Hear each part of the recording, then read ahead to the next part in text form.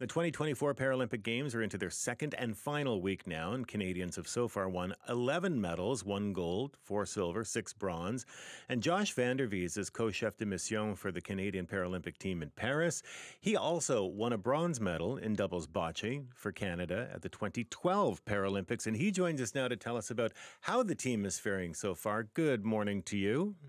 Oh, good morning to you in Vancouver. We're well into the afternoon here in Paris, but we're uh, lighting up the venues with our performances. Well, it, it sounds like it so far. So tell me how it's been going so far. What, what is your view of week one?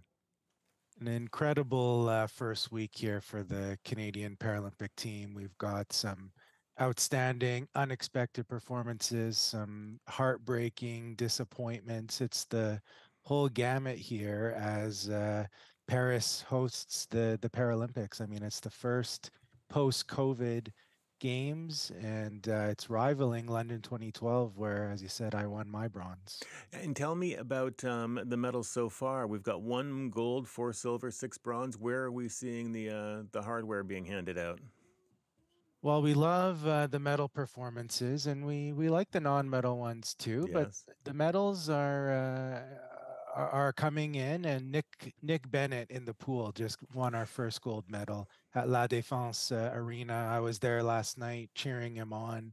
It's seventeen thousand people in that stadium, wow. completely sold out, loud, and uh, he was in third uh, for the last fifty meters. Just kicked hard into the wall and took gold, and we heard "Oh Canada" for the first time. Oh, that's wonderful. That must have. What did that feel like?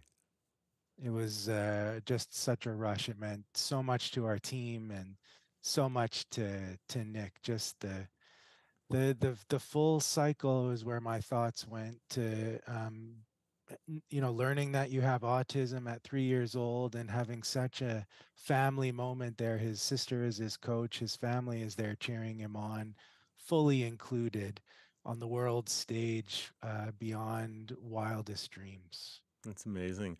Um, so, what specifically is is your role, Josh, as the chef de mission? Well, I have three main roles, and they they all involve messaging. So, I give messaging to the team, to the media, and to sponsors.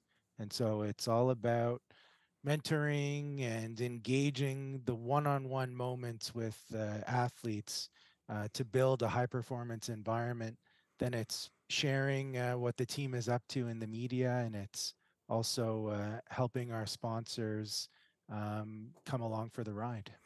And how have things been there? How has the coverage been? Um, how has the reception been? Because we often, you know, uh, it, used to be that the Paralympics sometimes got treated as a little bit of an afterthought following uh, the Olympic Games.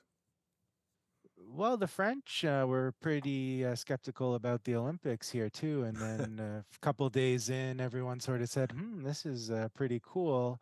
And uh, it looks like the elite sport fever hasn't died down here in Paris. We're hearing that coverage is uh, the best it's ever been in Canada. We're uh, now in a world where people are watching media on their streaming services, so we're not so reliant on cable uh, cable TV anymore. Right. So uh, we're we're so happy that Canadians can just find the sports that they love and want to watch because you know hockey and baseball and basketball are okay, but it's incredible now that Canadians get to watch uh, wheelchair rugby and wheelchair yeah. fencing, wheelchair tennis, swimming, athletics, and the Paralympic only sports of bocce and goalball. And you're right. There's so many ways to see it, and and of course uh, on CBC Gem we've been running it, but also on the main news network. I mean, I'm, uh, you, you, know, I'm, I'm looking right now, and the, the coverage has been almost wall to wall on Newsnet uh, throughout. It's just been great. Um, Absolutely. You, as I mentioned off the top, you previously won a bronze medal in 2012 in, in bocce. Now you're a, a mentor and, and and a supporter for athletes who are themselves competing. You have seen this on both sides. So what, what is it like for you to to be there and to you know, not just cheer on, but to actually help these athletes get onto the big stage? Well, now on the other side, I can really reflect a bit more on the magnitude of the games. And I was when I was competing too, but I really see uh, that diversity, equity, inclusion, it's so important to so many people now. And the Paralympics are just the intersection of that. It's inclusion plus excellence. And so that can uh, put some pressure on uh, performances. You know, we, in the moment, athletes, the athletes, uh, the non retired athletes now who are performing, they don't necessarily think about that. It's all about focusing on the moments uh, that they need to to dig deep. And so my message to them has been that I believe in their potential. That no matter what happens on the field of play, uh, what comes now and what comes next from such an elite group of Canadians is just outstanding. And then I, I encourage them to think about what their top values are. We all sort of have values that we cherish the most. And I encouraged them uh, at, at, the opening ceremonies before we marched down the Champs Elysees. I I ask them to think about what their top values are and to live those values on the world stage.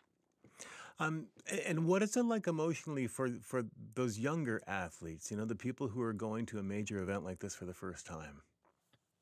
Youth can be a real advantage in elite sport because you, all you have is your skill and your talent, and you don't have the um, the pressure and the the destiny barreling down on your shoulders. All that so history. It, it, can, it can, uh, you know, you can just go out and do what you're wanting to do.